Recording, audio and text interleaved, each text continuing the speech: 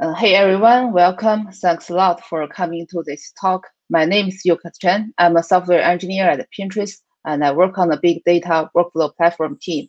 Today, together with my teammate Ace, we are going to share how we improve the Airflow system usability at Pinterest for our users. And we want to share our experience with the hope that the work we have done here could potentially benefit your work at your organization in some way. And we'd like to get feedback from you as well. A little bit about Pinterest. Pinterest is a visual discovery engine. It's a positive corner on the internet. Our mission is to bring everyone the inspiration to create a life they love. Pinterest runs on data, and our data infrastructure has a large footprint. Our team builds a workflow system where all the Pinterest data jobs and pipelines run on it. Internally, our system is called Spinner and is built on top of Airflow. Also, we had been going through a migration process from the old system to Spinner last year. If you are interested in how we did the migration, back on Monday, our team gave another talk about the Pinterest migration journey. You may want to take a look at the recording of that talk later. So now coming back to Spinner workflow system, Today, we have more than 13,000 active users. That's about a half of the whole Pinterest engineering. And each day, there are over 12,000 DAG runs, close to 80,000 task instances, and over 80,000 UI and API requests. That's the scale we operate on. And we treat our workflow system as a product, serving customers globally. Although our users are only the internal users, they do have a wide range with all types of backgrounds. Our users include engineers and also have non-technical people like the legal and the marketing team and analysts. Those users may have different needs and requirements. So for us, providing a delightful user experience and boosting developer productivity is very important. While we build and operate Spinner, what we do is we constantly collect feedback from our, our users we listen to them and gather their pinpoints. Because we want to make sure what we are working on, the most important things our users need, and make sure the features we build and the things we add into the system help our users to better accomplish their work, bring success to them. And uh, how do we identify what our users want? In order to identify what our users want, we collect feedbacks by having company-wide surveys, which usually runs every half year. And we also do the platform-specific surveys through training sessions. And we provide the tools for users to raise their voice, send their requests, and having votes on it. And weekly as a meeting, we process those user requests once they hit some cutoff we define. So for example, if a request has more than five or 10 votes, we will turn that into an action item. By repeating such a process, we make sure the requirements are impact, impactful and the worth building can be prioritized. And one thing to mention is we do align the features we want to build with our team's long-term roadmap and OKRs. That's another perspective. So starting from here, next we are going to show you some of the usability enhancements and features we have recently built into the our Airflow-based system to meet our customer needs. And we are going to look at the tooling for improving the debuggability, the tooling for backfilling DAG runs, and a handful of other usability features. In the end, we will discuss our future plans, especially the open source considerations. Why don't we start from the debugging tooling? So Spinner debugging tooling is a project that we started from the beginning of this year, 2021. And the goal is to provide tooling for our users and enable self-service troubleshooting. For many of the workflow users, one thing on top of their mind every day is one question. Are my DAGs running well? Do I need to worry about it? A user may come to Spinner and see their DAG run took more than five hours, and they may want to find out why it seems to be longer than usual. And another user may come to Spinner and see their task fails and want to figure out what caused that failure.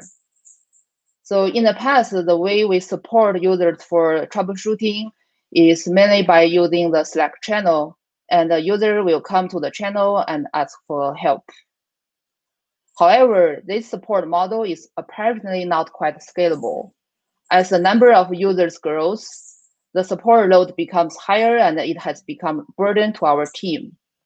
Also, from the user's perspective, this their experience is not good because the turnaround time for getting their questions answered or problems resolved could become longer too.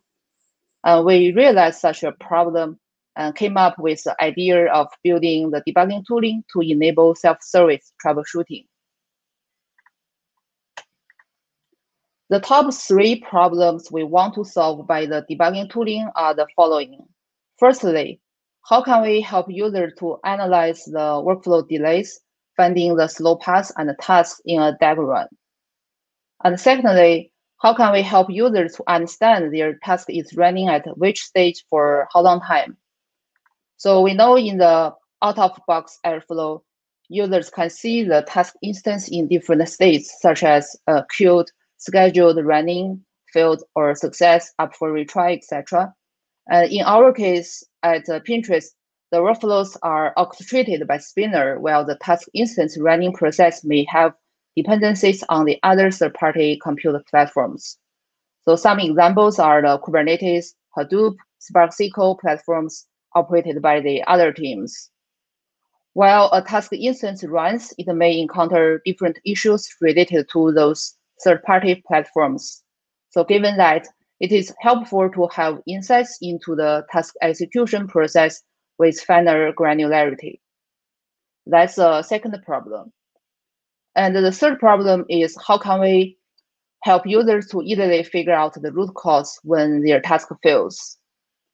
So our solution to these problems are the critical path finder, task execution stager, and the failure error analyzer.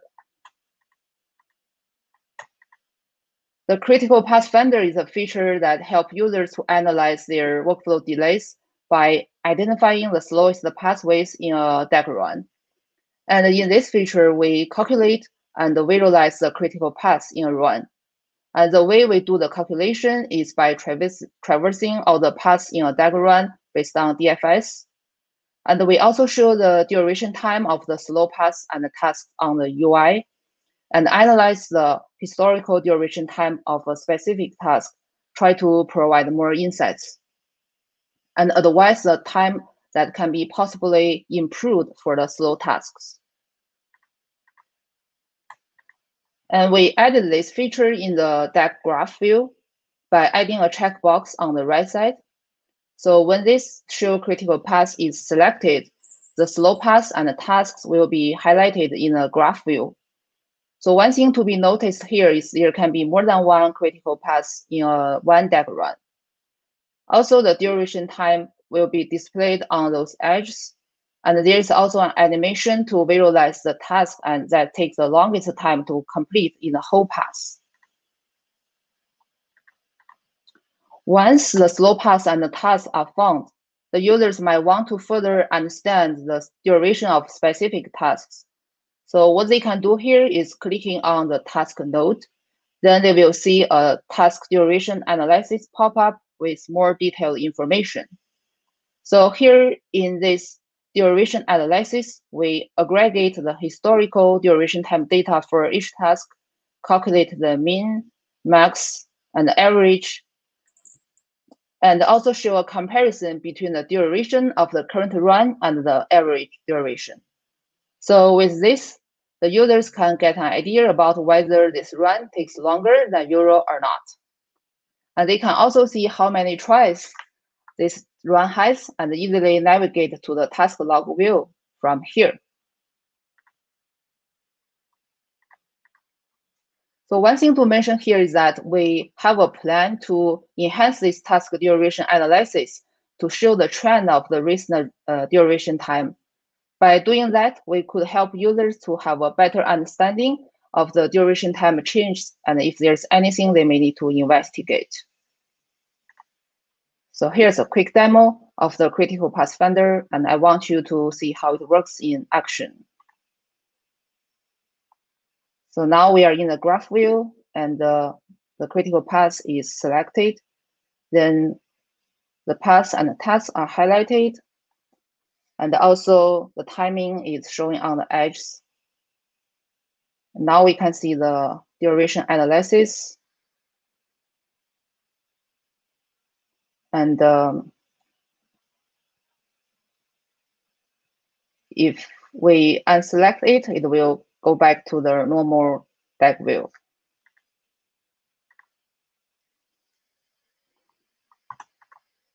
All right. So now let's jumping into another feature we created as part of the debugging tooling, and that's the task execution stager. The goal here is to provide visibility into the task execution process with finer granularity.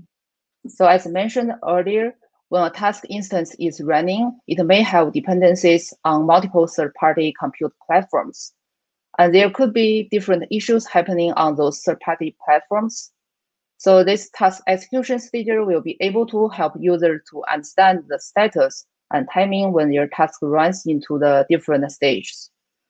This feature also comes with the failure error analyzer to analyze the task logs and find the root cause when a task fails.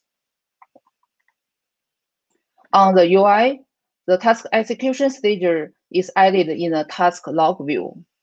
For each task try, we show such a pipeline to visualize the stages and the task run has been going through.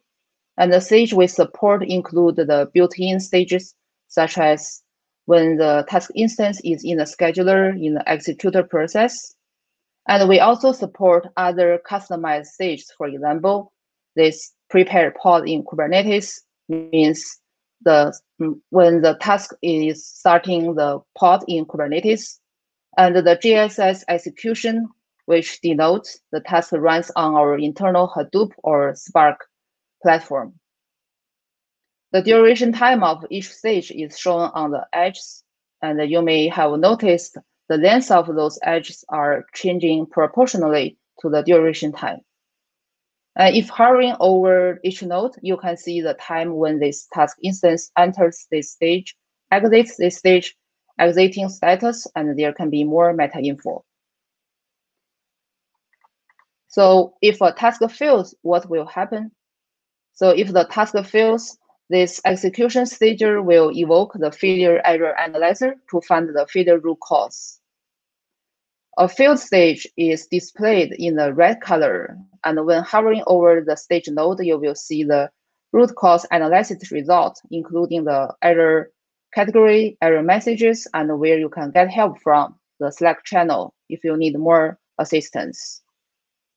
Lastly, let's look at a quick demo for this stager tool. So now in this task try, it succeeded, so everything is green. And in the try four, it fails in the GSX job stage. So we can see the timing information when hovering over uh, the task node.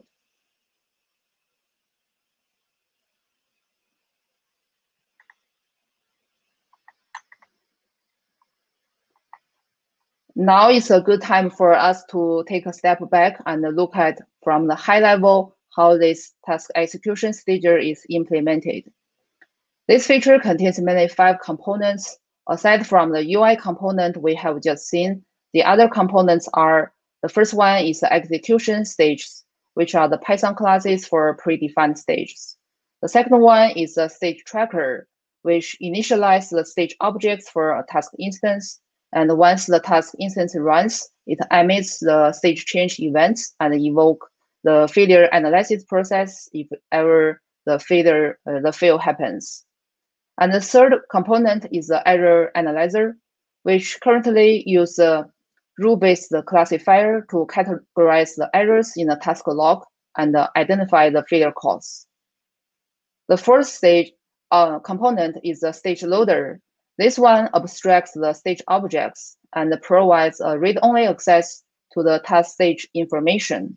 It's a handy interface where the API and the UI can read stage data from. So with that, let's jumping into another feature we built for improving debuggability, and that is the DAG parsing error feature. We have thousands of the user DAGs, including the native DAGs and those migrated from the old system. And it happens that some of those DAGs, especially the dynamic DAGs, encounter errors when they are being parsed during the scheduling process. These errors can be seen in the system logs, but the problem is our users don't have access to those system logs. So with this feature, we want to expose the DAG processing errors to end users and ease their debugging process. In the DAG view, we added a new tab for the DAG parsing error. And in this tab, we show users detailed and concise information about errors and stack traces. It also shows the time when the errors are detected and the execution date of this DAG run. So sometimes the same error can be detected for multiple times. And, and when that happens, we are not showing multiple records in the table. Instead, we only show one record with the last updated timestamp. So in order to make this feature more discoverable, we show this warning in the DAG view once the parsing error is detected. And in this warning, there's a link to the error tab. Also, sometimes a user stack could have a common issue so that multiple DAG runs into a particular parsing error. So in order to help users uh, find out those stacks more efficiently, we enhance the search function in the DAG list view to support searching DAG errors with this dropdown. So far, we have looked at the critical path finder for analyzing workflow delays, and we looked at the task execution stage with the failure analyzer, which provides more insight into the task execution process. And we also look at the DAG parsing error feature. So that has covered a good portion of the debugging tooling. Now I'm handing over to Ace to continue this talk, touching on the other areas. Thank you so much, Euccas, for sharing of that. Uh, once again, my name is Ace. I'm also on the workflow platform team here at Pinterest. Uh, and so uh, we'll start off by talking about the backfill submission tooling that we've built. Sorry about that. Yeah, so we'll go ahead and talk about some of the backfill submission tooling that we built. Uh, so just to recap, our high level goal is to provide an isolated, dedicated, scalable, and reliable way for users to rerun uh, any workflow for past dates. Uh, as Euccas mentioned, we had a session earlier uh, in the week uh, discussing how we also support a migrated case. So this is to support migrated cases and native cases. Uh, just to go over some of the requirements. So what we need to support our users successfully is to have separate concurrency controls between production and for backfilling. We need to support having a stateless component in some shape or form, uh, which means that if the backfill job dies, we need to be able to bring it back and resume from where it left off.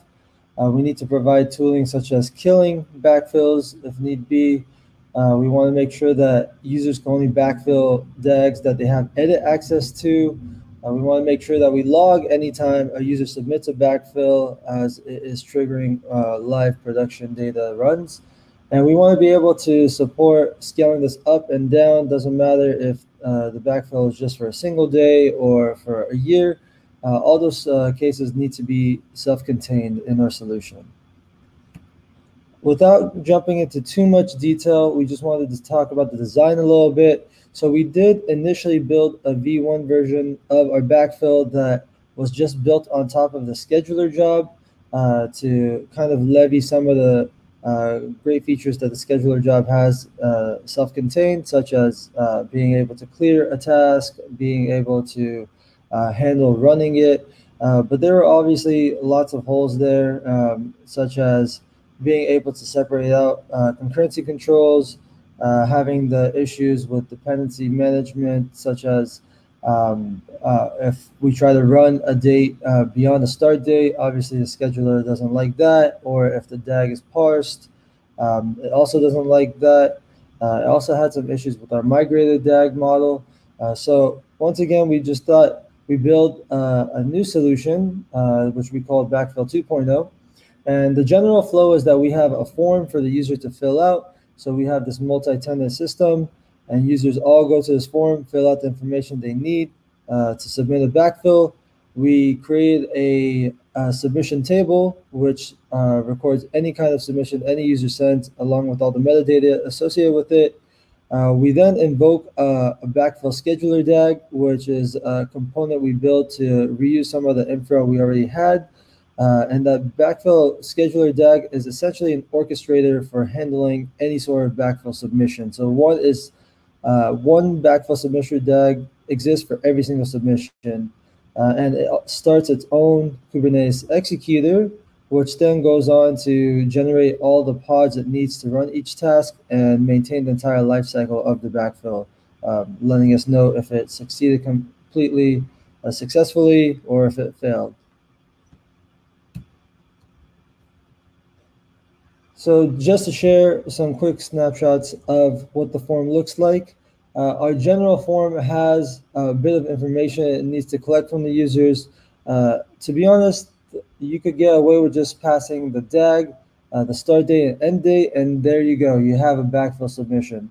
But this form also supports more advanced cases. For instance, if you only want to submit uh, some set, subset of tasks, you could go ahead and do so.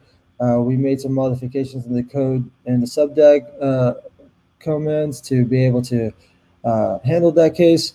We also support the major uh, different options that the backfill job supports, such as rerunning in the past or ignoring uh, the uh, past dates, even. Um, also, just marking things as success, clearing the previous records. So we support all of those cases, and we have a few other options, such as uh, some specific uh, Hadoop team settings that uh, get attributed to all of their different jobs.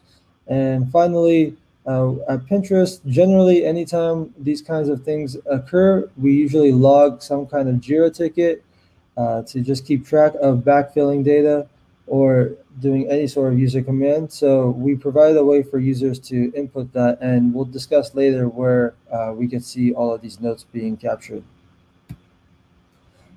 Just beneath uh, where a user can fill out the form, we also show the past submissions, so the historical submissions for each user. So what this entails is uh, it basically shows the data that we store in the backfill submission table. So it'll show things like the start time and end time for the backfill submission, the DAG that was uh, to be submitted for, the start and end dates that they wanted the backfill for, if any subset of tasks were selected, the state, the progress between the DAG runs uh, are part of the backfill, as well as some sort of highlighting for any options that were selected. And uh, users can take action on this form. I'm sorry uh, and what I want to show is that in this final column, we do have an option to kill a backfill. We'll discuss this a little bit further in a future slide, but this is where a user can take those actions as well as any admin member. So this GIF is just to kind of show the process. So you see a user selects the DAG from the dropdown. Uh, they're just running for, to, for the date that's set. Uh, by default, the backfill date is set to yesterday. Uh, then once the user confirms, you'll get this modal pop-up discussing some of the concurrencies uh, that are associated with the backfill, uh, just making sure that the user is aware of the resources that the backfill require and making sure that they're aware of how long it may take. Um, so we put that onus on the user um, and we'll jump into each of these sections in a little bit more detail right now. But just to pinpoint one more thing is that we have this full history of all the backfill runs in a different view. Uh, it's very similar to kind of the Dagger and the task instance views uh, where uh, they reside under the, the browse section. But we display all the same information as shown previous, but this is for the whole system. So a user could go and see, hey, did somebody else send, uh, submit a backfill for the same DAG as me?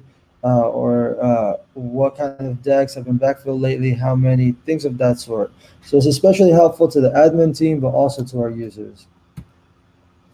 And just to make it very easy to get from one view to another, we provided in a graph view if it is a backfilled uh, execution record, then we do show the backfill schedulers and the states that were associated with the backfills just to share that. It's in the graph view, but it's also going to be in a log view, which we'll see uh, in a little bit. So talking about concurrencies again, this is actually a very important feature for us because uh, different workflows have different SLOs for production, but for the backfill case, we do not guarantee those same SLOs. First of all, uh, like you just mentioned, a lot of the heavy lifting is done by the uh, Hadoop team or Spark team and their clusters. So the the concurrencies that they select here are really important to make sure that they're getting the right resources. So we provide a way for our users to even override the resources instead of having to make a code change. Uh, it's an internally managed system in Pinterest to basically have a KV store. Uh, so we display the the values that the user will get for the backfill, but we also display in the DAG details kind of the active runs for the backfills uh, and the concurrencies settings there, just so they're aware if a user comes and says, hey, how come my backfill is taking so long? Well, we could just point to this. Um, and as well, before a user actually confirms a backfill, we do let them know the request, how many uh, task instances will be generated, how many backfills, how many, uh, or sorry, how many DAG runs, uh, things of that nature and we tell them what the concurrency limits are according to the settings that will be provided to their DAGs. Um, and we kind of give them a recommendation. Is it sufficient? Maybe, you know, maybe not. So uh, it's really for the user to think a little bit. And then in the future iteration, we would like to automate some of these uh, concurrency settings, uh, but it turns out to be a bit more complicated problem than uh, our V2.0 was uh, designed for. So talking about uh, the actions that users can take on backfills, obviously they can submit the backfill, but they also can kill backfills. And you may be wondering, hey, why does a user really need to kill a backfill? Well, one reason could just be that a uh, user accidentally submitted for extra dates um, and they didn't actually need to. Or maybe somebody uh, locally went and changed data and they don't need the backfill anymore. But even more importantly, it could be that, uh, again, uh, our backfill resources are shared for us and as well as our third-party systems, um, whether it's Hadoop, Spark, etc. And uh, they may advise us that, hey, some of these backfills are not uh, for high tier or high importance workflows. Can we please kill them for now so that we can make sure that the important workflows uh, go ahead and uh, run as quickly as possible. So then we'll go ahead here, and there's two options for killing. You could actually either kill the actively running tasks currently, or uh, and or or you could actually kill the scheduled tasks that would be scheduled as part of this backfill altogether. So if you click both options, everything gets killed, running and future. But you have the option to select either or in case you have a reason to.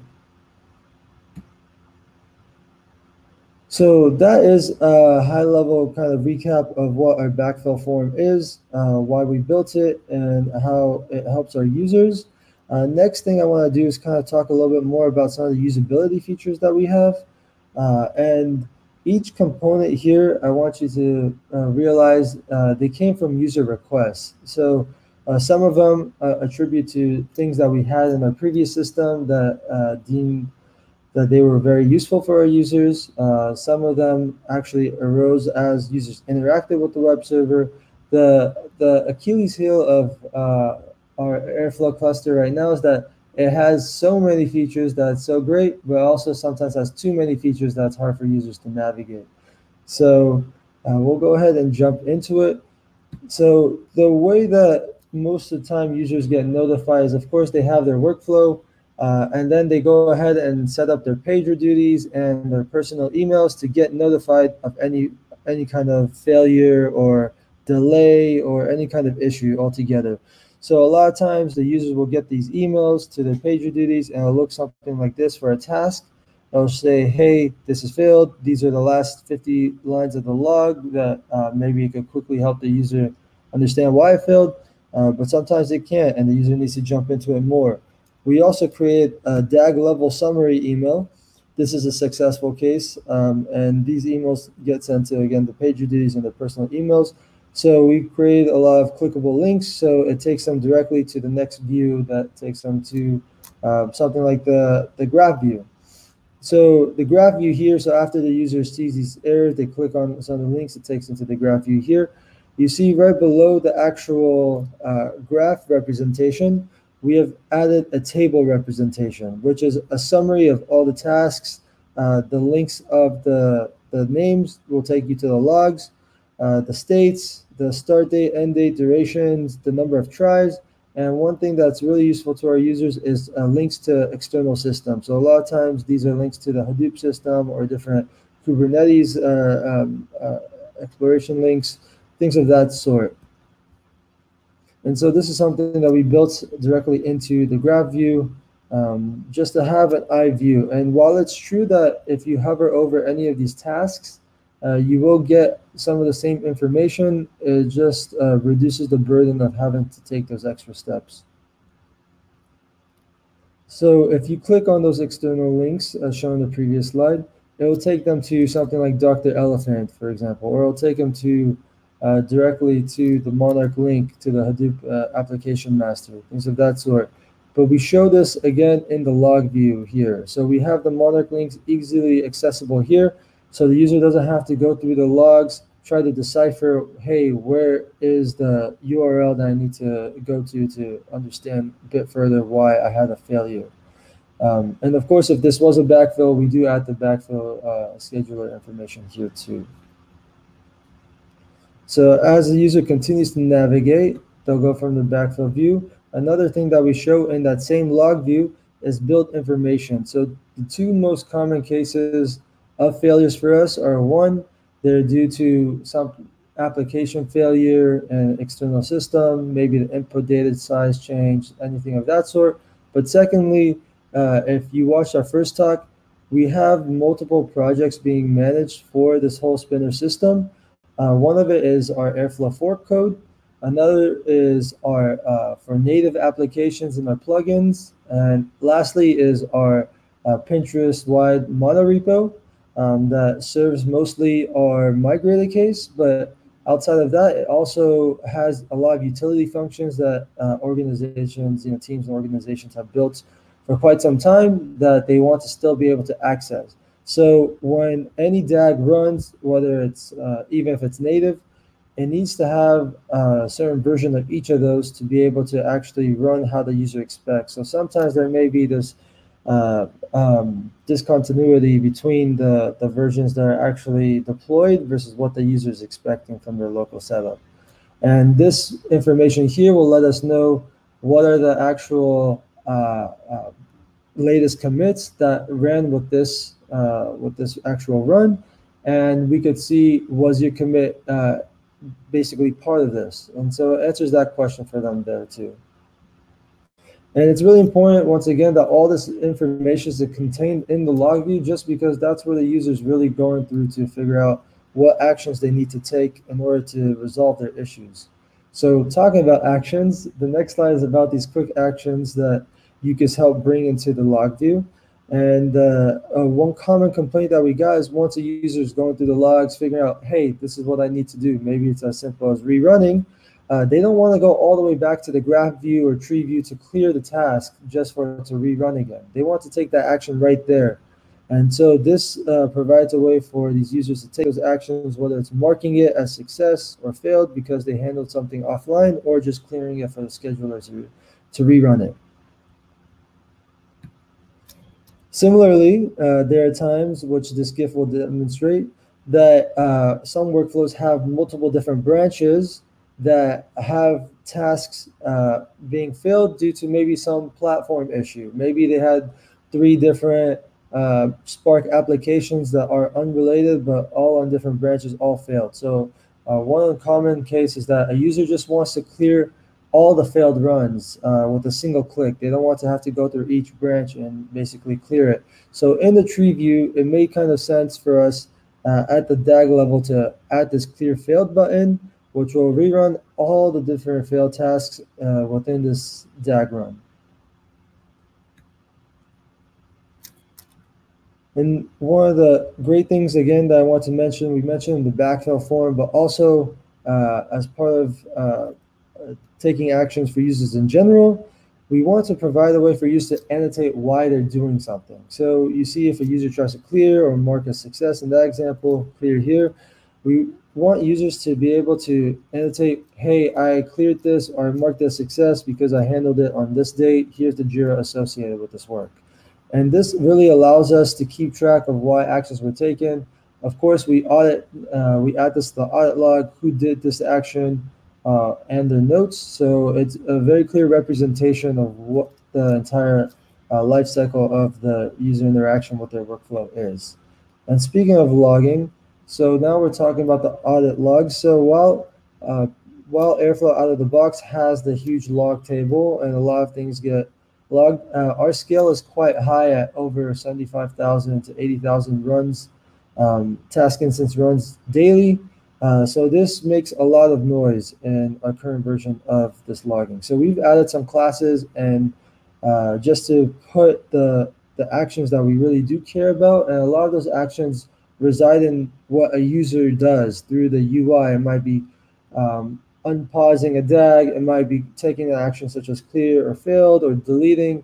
Those are the things that really do matter to us versus the system generated audit logs uh, of when the uh, local task executor is running. And so uh, we help build this DAG audit log here, which is for each DAG, we get to see all the logs attributed with it. Um, uh, if you could see in this comment, anything that had a comment associated with it, we do highlight so that it clearly should uh, demonstrates why the user took that action as well. So we'll see some of these as clear uh, and things of that sort. So that is generally, um, I want to take a quick brief pause there. That generally kind of encapsulates uh, end-to-end the user's flow from when they're going from getting an alert all the way to what they want to maybe see and take action to resolve their issues. Uh, but some other kind of features that the users have asked for is uh, one of it is just a summary of the DAG run. So Airflow out of the box does a really a superb job to kind of display all this information about task instances. So we get the uh, uh, the Gantt view, uh, the landing times, the um, kind of runtimes history even. Uh, but we don't have that same information for the DAG runs. And for us, we as an organization set a lot of SLOs on the entire DAG run. And while we do have on the tasks, we want to see both. It helps us observe what kind of anomalies happen, you know, run to run, day to day. Um, and uh, yeah, sorry. So continuing on that, here we see that we create this DAG run history tab view. And uh, we just basically add all the same information from the DAG run table of start date, end date, durations, and what kind of runs it was, as long along with the state.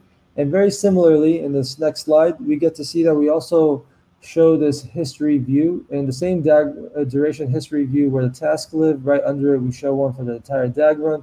So we could see on different dates why, uh, what were the anomalies, uh, the outliers. Uh, maybe we need to investigate further what happened that day.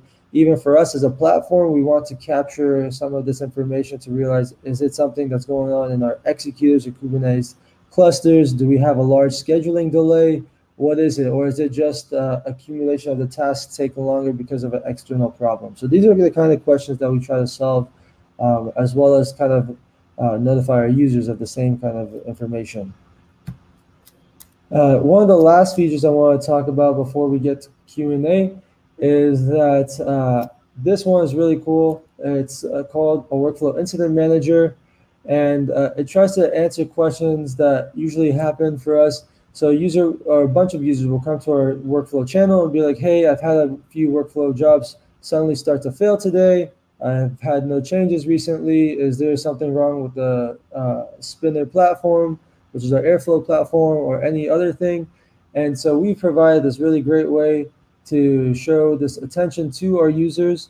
We wanted to basically uh, capture if anything is going wrong in the company for other systems or uh, other processes and help display, hey, this is what's going on. This may be affecting your, your workflows. Uh, please follow this uh, kind of channel or ticket to, to see what's happening. And we personally go through and update this to keep our users informed of uh, what's happening. But beyond just the incidents, so internally we call it incidents in Pinterest, where anytime there's a problem with any system, it gets brought up. Um, there's also other cases that we want to use this, such as sharing uh, if a code freeze is coming up, you know, for the holidays. If uh, at times, if you have scheduled maintenances, some organizations may have that. This is a perfect way to illustrate that to users. And sometimes you could even use this maybe to share a, a new feature if you'd like. Um, and so there's a lot of different use cases that maybe other organizations want to take advantage of. But for us, we mostly use it to just find a way to keep informed our users because our users uh, do go through the web server most of the time to to do any sort of action. So it's the best place to inform them. And lastly, just to kind of uh, reiterate, the admin side of that same workflow incident manager, uh, we have a form that we fill out through the UI as well, and we pass information such as what the issue is, a description, what the severity of it is, uh, when it started, uh, things of that nature. Uh, and we also have a way to this, uh, to say what clusters it affects. Sometimes you may have something that only affects PII data, and so only the PII cluster gets affected. And so, of course, we also keep records of all of those things that we have submitted in the past, and here it is. Uh, and lastly, uh, some additional things that we have that we found really helpful for our users is having like a single script for users to build up a uh, container to do their own testing locally. Uh, we also reduce our burden um, and reviews and uh, basically empower our users by building this kind of um, really collaborative and informative unit testing suite. So we want to run all these tests on the on the um, submissions just to make sure that they can feel confident and we can feel confident that those changes are indeed passing our test and will be fine on the production cluster. So these are a few of the kind of features that we built. Uh, again, these kind of came up while we were trying to empower our users. Um, so given that last year uh, at the beginning or end of 2019, beginning of 2020, uh, we really set out to first handle our migrations, but also come back and see can we contribute to uh, the open source community while we're building this. Uh, of course, uh, velocity was uh, very much basically a, a point of um, concern. Uh, so we needed to move fast and really get these migration efforts done. And so last year we didn't get to do it, but this year we have roadmaps in Q3 and Q4 to talk more about open sourcing. Uh, and this is where we could really use your help. So for whoever's online, uh, it would be really great if you're part of this uh, cast right now or in the Slack channel or however, if you want, email me or, or you know, however you need to, just let us know what are the things that your organization would most benefit from. You know, would it be uh, the critical pathfinder? If so, please put a number one. If it's something as simple as the DAG run history view, put number seven. We do have goals to maybe get all of these things out, but obviously that's difficult. Uh, and hearing from you will let us know what things maybe matter the most to your organizations that will help empower your users. Um, so thank you so much for listening today. Um, again, my name is Ace, uh, and thank you so much, Euccas, for helping present this information. Uh, here's our personal information if you ever want to reach out, talk about anything, uh, and discuss Airflow further. Uh, we're really excited about it. Uh, so thank you all.